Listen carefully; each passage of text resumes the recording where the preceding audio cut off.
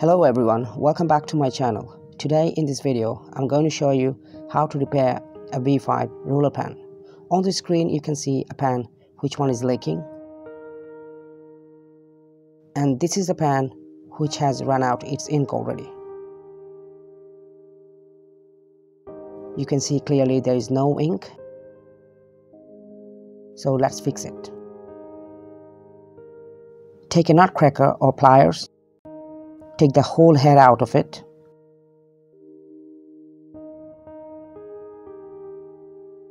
You can see the nib and the line. And now push it with the one you want to repair. Push it harder. Let's try writing. You can see smoothly I can write down